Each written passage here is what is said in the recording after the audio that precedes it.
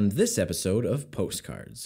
We're able to show really amazing work that is screening in Boston and New York, and our neighbors in Wrenshall, Minnesota can experience that as well. There's just something magical about seeing a movie in a barn.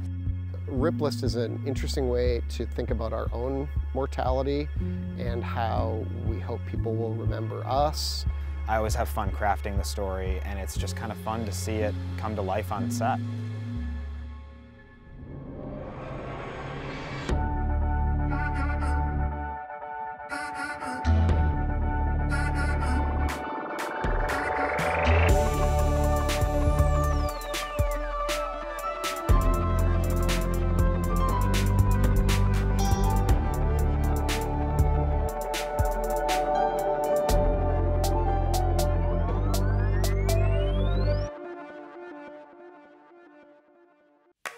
Postcards is made possible by the Minnesota Arts and Cultural Heritage Fund and the citizens of Minnesota. Additional support provided by Margaret A. Cargill Philanthropies, Mark and Margaret Yackel Juleen on behalf of Shalom Hill Farms, a retreat and conference center in a prairie setting near Windom, Minnesota. On the web at shalomhillfarm.org. Alexandria, Minnesota, a year round destination with hundreds of lakes, trails, and attractions for memorable vacations and events. More information at explorealex.com. The Lake Region Arts Council's Arts Calendar, an arts and cultural heritage funded digital calendar showcasing upcoming art events and opportunities for artists in west central Minnesota. On the web at lrac4calendar.org. Playing today's new music plus your favorite hits 967 Cram online at 967cram.com.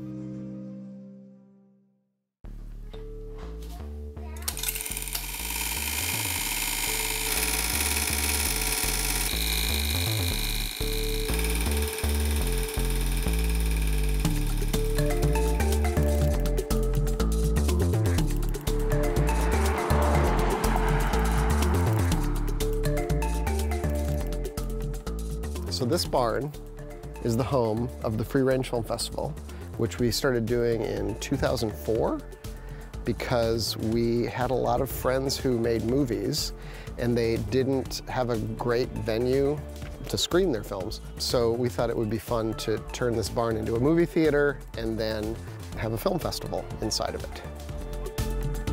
That first year we thought, well, we'll get maybe like 30 people to come to this. You know, it's in the middle of nowhere in northern Minnesota, and we had 300.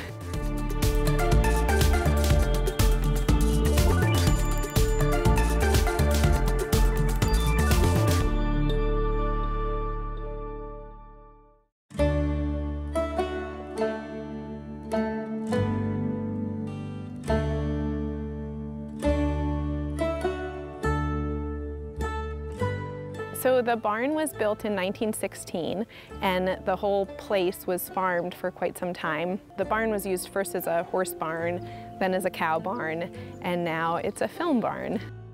Seeing that kind of architecture is just so amazing. You don't see wood beams that big anymore. So it's sort of fun too because if there's a movie that maybe you aren't so into, you can just stare at the ceiling and sort of wonder about what we can do as humans. There's just something magical about seeing a movie in a barn.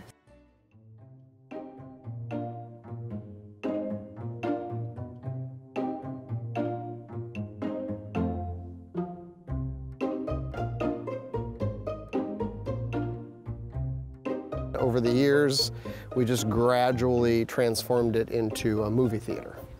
Like an actual theater with an actual movie theater screen and movie theater speakers and a few movie theater chairs, um, but most of the chairs actually come from a, a junior high school that was torn down. The thing I like about film festivals is even if you have uh, an art house cinema in your town, I mean, they're, they're still gonna play fairly close to mainstream films. The nice thing about a film festival is you get a huge mix of really outsider uh, experimental films, animation, documentaries, unclassifiable things. You just get a nice potpourri of films that you don't see anywhere else. I mean, Netflix isn't playing a lot of short films or experimental things. I mean, it's just hard to find that stuff unless you go down these rabbit holes on YouTube, and then, you know, who knows what you're gonna find there.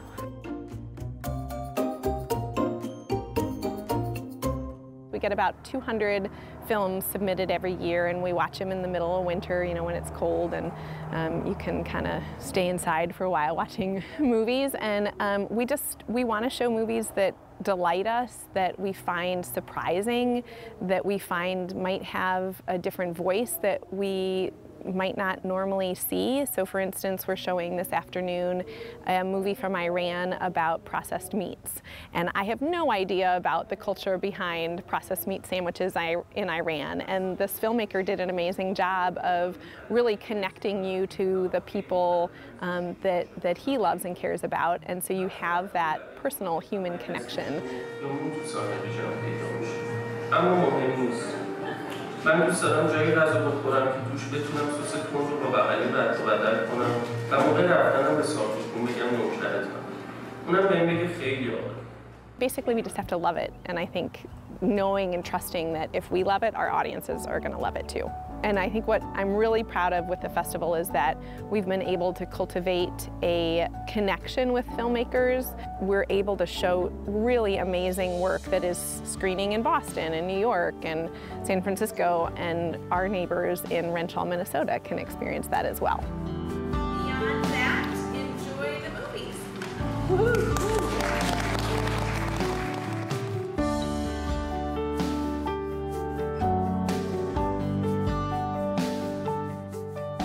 My favorite thing about the festival is when someone new shows up who's never been here before.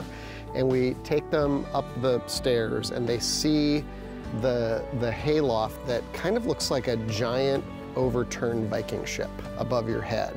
And it's this like cathedral of agriculture, I guess, but we've turned it into a, a cathedral to cinema, and I, I love that.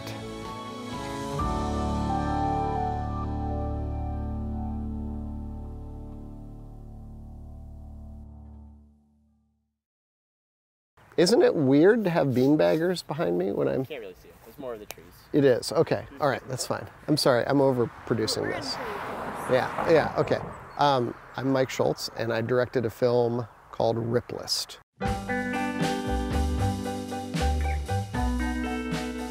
This man will be dead within a couple months, Jimmy Superfly Snuka. Oh, really? Oh, yes. Yeah, he's supposedly Clock in is- hospice. Clock's ticking. Clock is ticking? Yep. He's circling the drain. John picked him this year, but he didn't die yet, so. and it's about a celebrity death pool. Um, it's a documentary, so I actually followed real human beings who engage in this morbid, tasteless behavior of, of drafting celebrities that they think might die in the next year. And then, sort of like vultures, circle around these people, waiting for them to die so that they can score a point. I'm just really trying to make it so I don't sound really insensitive. Because, you know, I mean, nobody really wants anybody to die, but some of these celebrities just hang on way too long.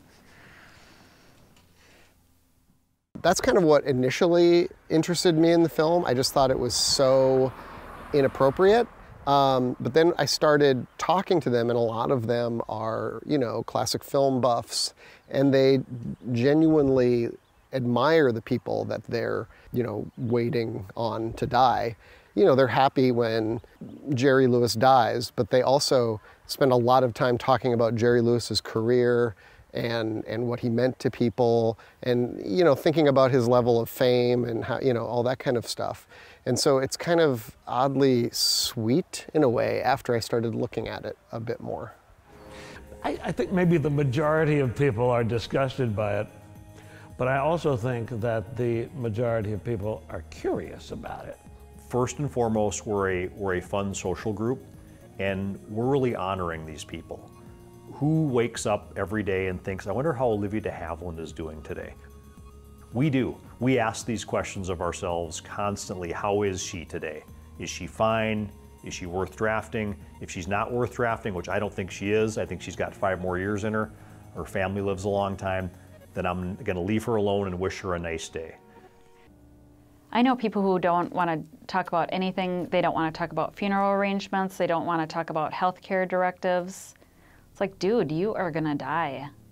Like, you could die tomorrow. You could die in 10 minutes. Like, why? It's going to happen.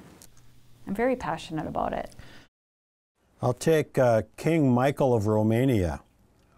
Mac Wiseman, a member of the Country Music Hall of Fame.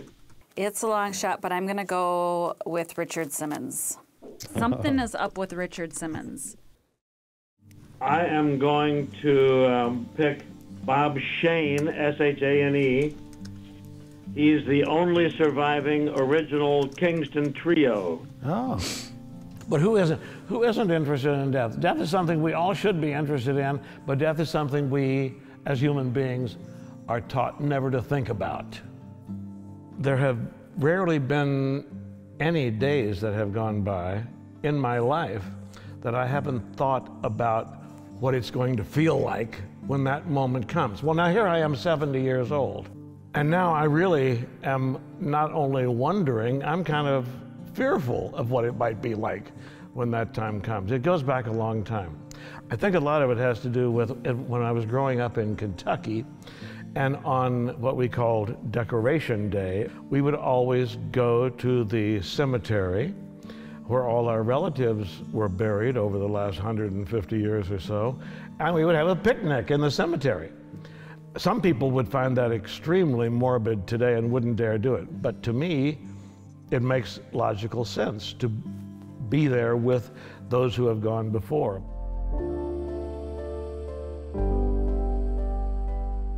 So uh, I'm going to spoil a little bit of the ending of the film. One of the last things I do in the film is I ask uh, the, the, the, celebrity death poolers in the RIP list um, what they think happens to them when they die. And I get all these really interesting answers. This RIP list is an interesting way to think about our own mortality and how we hope people will remember us. So it was just a kind of a sideways way for me to approach the, the topic of death in um, an unusual way.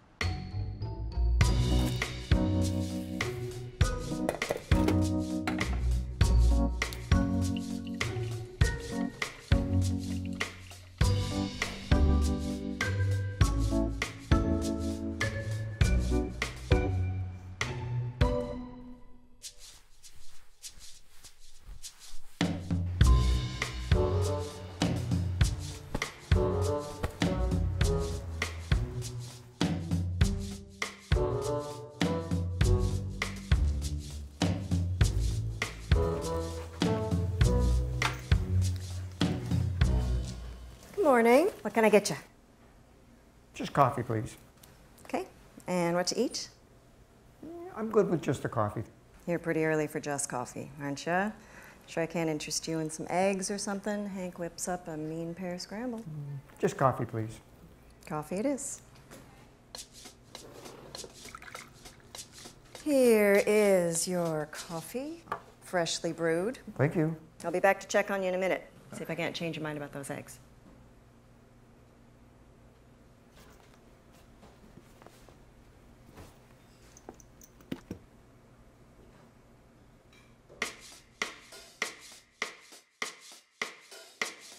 So what's the deal with that guy? What guy? The coffee guy. Gerald. Oh, you on a first name basis with him now? Well, he's been here five hours. It was bound to come up by the eighth trip over there. So what's his deal? No deal. He's just drinking coffee. Exactly.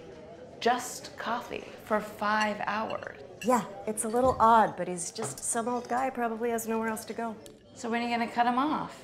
Why would I cut him off? Refills are free. Well, you better hope Frank doesn't find out. More coffee? Oh, yes, please, thank you. Oh, Marie.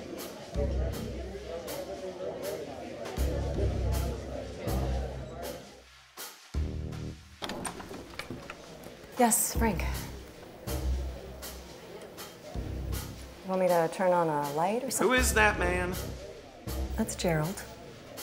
Gerald. Yep. He's eating a sandwich. What?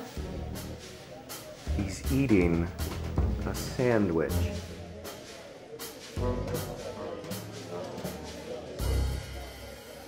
I need you to ask him to leave. Yeah, but Outside food, you know the rules. when have we ever enforced that? When have we ever had to? Look, just leave him alone. He's a harmless old man. I've been watching him. Just how many cups of coffee has he had? About 10? And how much have you charged him? $2. For 10 cups? Our sign says free refills. What could I do? Charge him more. Frank, Look, just get rid of him. Now, or those cups and then some are coming out of your paycheck. you can't do that. Marie, let me let you in on a little secret. This whole assistant manager thing, it's temporary. Kathy's been talking about moving me up very soon. And when she does, you better believe some things will change. And the first thing, no more free refills. Now, do you know what the second thing will be? No. Well, go cut them off, or you're gonna find out.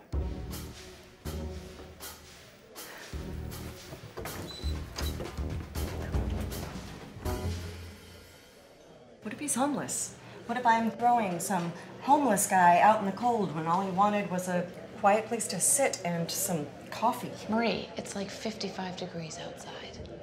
Yeah, but that's like 12 degrees Celsius. And when have you ever cared what Frank thinks? He's just the assistant manager. And Kathy wouldn't mind. Because he said if I serve him anymore, he's gonna take it out of my salary. Then don't serve him anymore.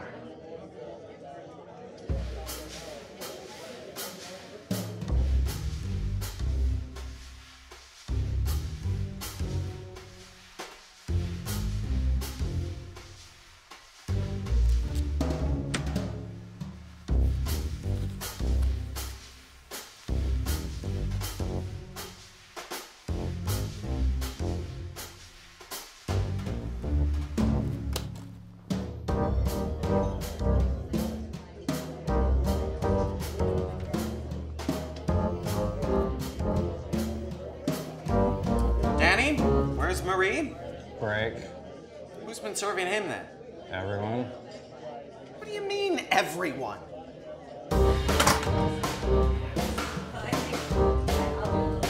Let me make one thing perfectly clear. No one is to serve that man anymore. Understood? He has had his last cup of coffee. You got 18 cups. As far as tonight is concerned, we are out of coffee. And you, I told you to get rid of him. Go, you're done for the day. But I need this shift. I don't want to hear it. And don't bother coming in tomorrow either. You're firing me? Consider it a light suspension. I'll see you Monday, night shift. I, I can't work that shift. You know that. My kids. We'll have a great time with their babysitter, I'm sure. Get him out of here, now. But I promised him one last refill. Fine, you can serve him one more and get him out of here.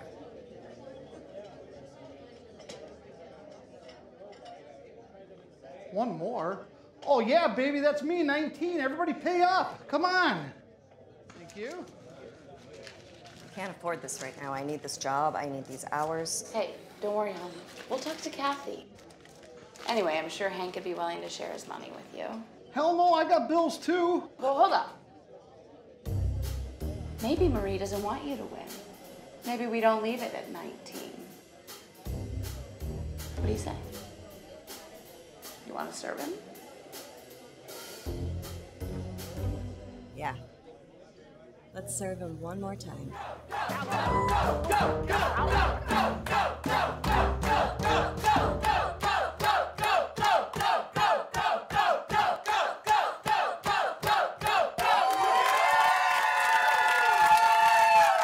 That's it! Get out. Now. Leave him alone. Oh, Frank. you better believe I'm gonna deal with you next, Missy. But you, get out. Pay your tab and get out of my restaurant before I take that book and. Miss Reynolds! Oh, that. I was just. What's going on here, Frank? Oh, well, you see, he kept ordering coffee, and I asked them to stop serving him Why? because they were giving him free refills. Refills are free. I know, but. Is this what I can expect if I make you manager? No, ma'am. I. I don't want to hear it. I want to see you in my office. But first, you need to apologize to this man, and then I want you, personally, to continue to wait on him until he decides to leave. Yes, ma'am.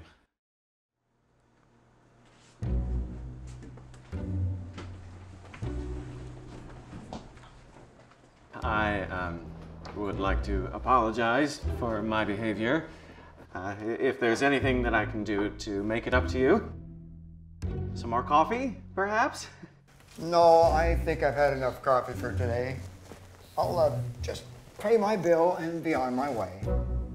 Oh, and uh, would you see that the young lady who served me earlier gets this? I'd hate to have her think I stiffed her.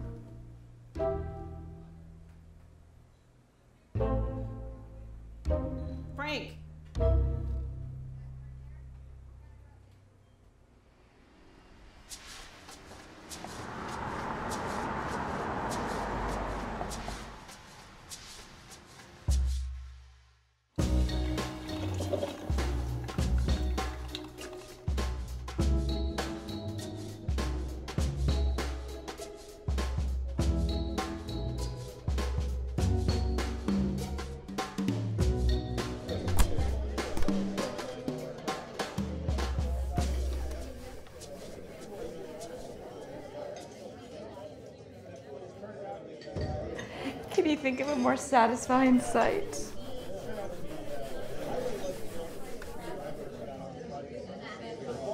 Yep. And I just walked in.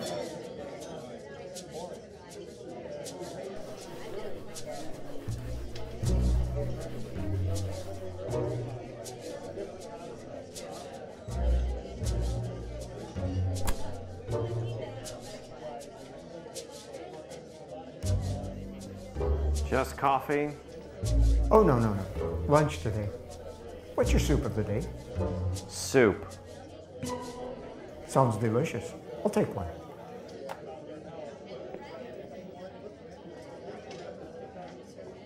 I thought you'd like to know. Crackers are complimentary.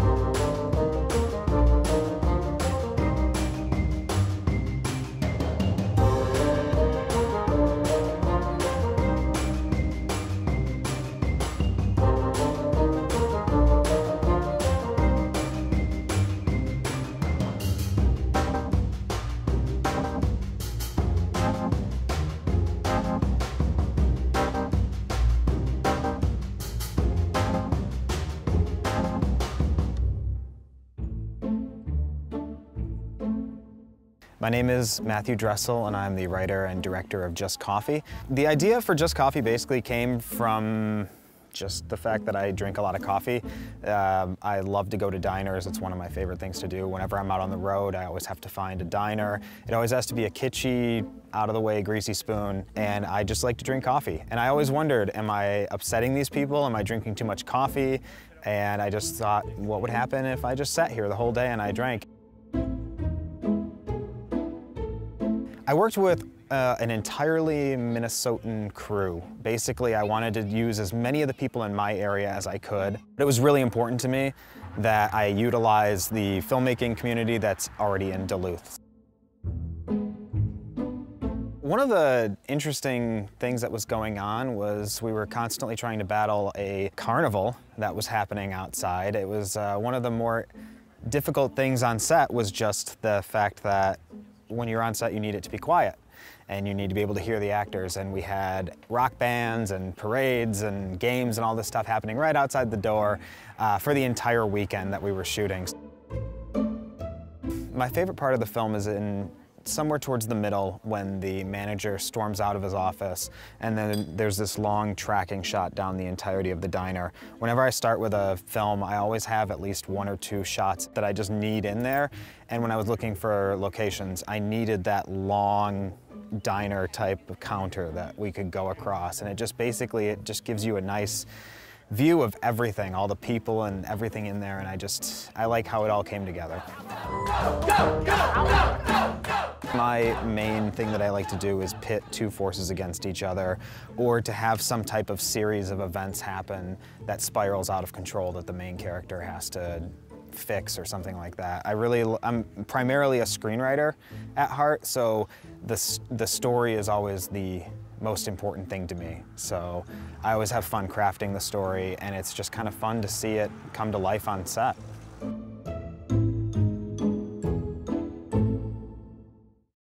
Postcards is made possible by the Minnesota Arts and Cultural Heritage Fund and the citizens of Minnesota. Additional support provided by Margaret A. Cargill Philanthropies, Mark and Margaret Yackel Juleen on behalf of Shalom Hill Farms, a retreat and conference center in a prairie setting near Windom, Minnesota. On the web at shalomhillfarm.org.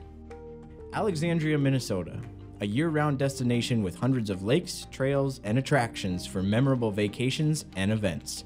More information at explorealex.com. The Lake Region Arts Council's Arts Calendar, an arts and cultural heritage funded digital calendar showcasing upcoming art events and opportunities for artists in west central Minnesota.